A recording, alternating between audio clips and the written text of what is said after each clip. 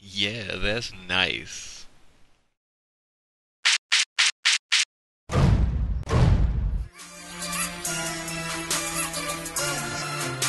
That bomb shit. What's good, guys? It's Rev J again. Well, this week was supposed to be a release video for the Shaq OFP, the official friend of the program, uh, the collaboration that Reebok did with Packer Shoes to re-release the '94 um, The, the blue, the colorway from Blue Chips. I don't know if you guys ever saw the movie. So that was supposed to be here this week, but however, uh, it takes Packer Shoes a little longer to get a shoe sent over to you than maybe Nike or anybody else. So we're still waiting on those. So hopefully next week those will be the video. In the meantime, though, I got hardwood floors here in the apartment, and I got a bad back, and so walking around barefoot just just doesn't work. I usually wear house shoes, slippers, sandals, something like that. Up until now, I had been rocking a pair of the Adissage, the Adidas massaging sandals, but those little things break off and fall out of them, and after I don't know six months, eight months, they're worn out. Now that's not a big deal for a cheap pair of sandals, but at the same time, I don't want to have to replace them every summer, basically, if I don't want to. So, saw something uh, for a good deal up on Zappos and decided you can't go wrong with uh, with Polo. So we picked up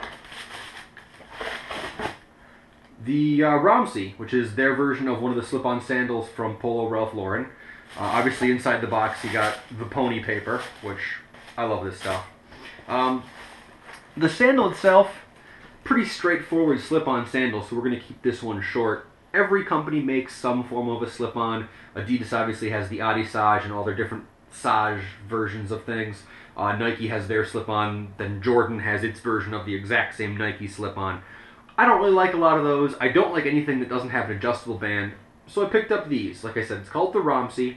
Um, it's a Polo product, obviously. The footbed is this sort of uh, tire tread looking uh, inside, and it looks just like the same uh, sort of plastic that the rest of the shoe is made out of, but it's actually not. It is a bit softer. I don't know if they just use a different foam inside or what, but they're actually pretty darn comfortable. Um, pretty thick raise in the heel here, so you get a lot of cushion. They're pretty damn comfortable around the house. So they've got the uh, the Polo Pony on the top. It's an open top strap, which I told you guys I love because I got nice wide feet. You can see more of the footbed there. Um, they do do them in a few colorways. Uh, this is the black and gray, which was the only one I could find. They do do a black and white that I liked, and a red and black that I was a little less hot about, uh, but still pretty cool. So there's some options. Uh, the bottom has again sort of a tire print uh, divided tread there. It doesn't make a whole lot of noise. Seems to grip pretty good. I tried them on earlier, and they were extremely comfortable. Pretty much every bit as comfortable as those Adissages that I had, minus the stupid little nubby pieces kind of falling around. Really, guys, it's all to them. It's a pretty inexpensive sandal. I mean, 35 bucks. Yeah, it's not cheap like a set of flip-flops, uh, but compared to some of the activewear sandals, the Nike sandals, which are over 40, this really isn't bad. I like Polo anything, so I can't complain.